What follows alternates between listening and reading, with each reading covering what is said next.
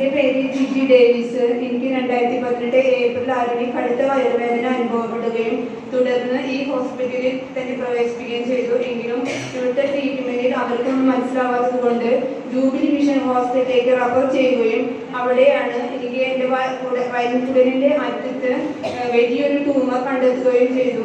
അതിനുശേഷം അത് വലിയൊരു മേജർ സർജറി ആയിരുന്നു.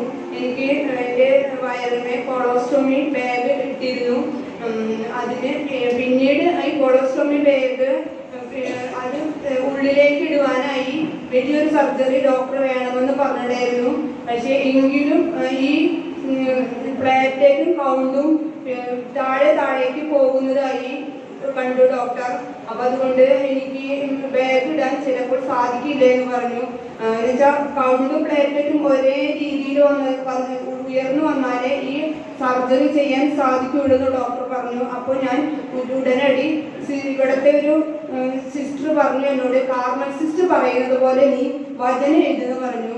അപ്പോൾ ഞാൻ വചനം എഴുതാൻ തുടങ്ങി. ഏഷ്യ നാൽപ്പത് മുപ്പത്തൊന്ന്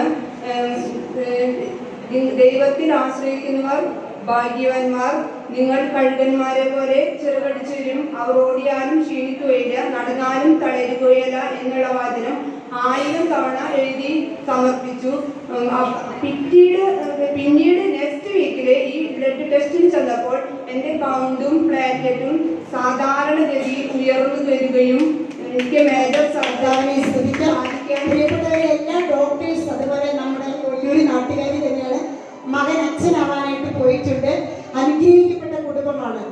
ജീവിത പങ്കാളിയും ആൾ ഭയങ്കര വിശ്വാസമാണ് രണ്ടുപേരും നമ്മുടെ പള്ളിയുമായി ബന്ധപ്പെട്ട്. എപ്പോഴും ഡോക്ടേഴ്സ് വന്ന് നോക്കുക എപ്പോഴാണ് ഈ മകളെ മരിക്കുന്ന ആ സമയമാണ് വന്ന് നോക്കുന്നത്. അത്രയും അത്യാസനം നിലയിലായി വചനം എഴുതിയ പുസ്തകമെല്ലാം തന്നെ തലോണയുടെ അടിയിൽ ഹോസ്പിറ്റലായിരിക്കുമ്പോൾ സീരിയസ് ആയിരിക്കുമ്പോൾ അതുപോലെ ഹസ്ബൻഡ് ആയാലും എപ്പോഴാണ് ശ്വാസം ധരിക്കുന്നതെന്ന് നോക്കുന്ന ഒരു പ്രക്രിയയായിരുന്നു ഇതിനിടയിൽ ചെയ്തിരുന്നത്. പക്ഷെ അതിൽ നിന്നാണ് കർത്താവ് വലിയ ഉയർപ്പ് കൊടുത്തത്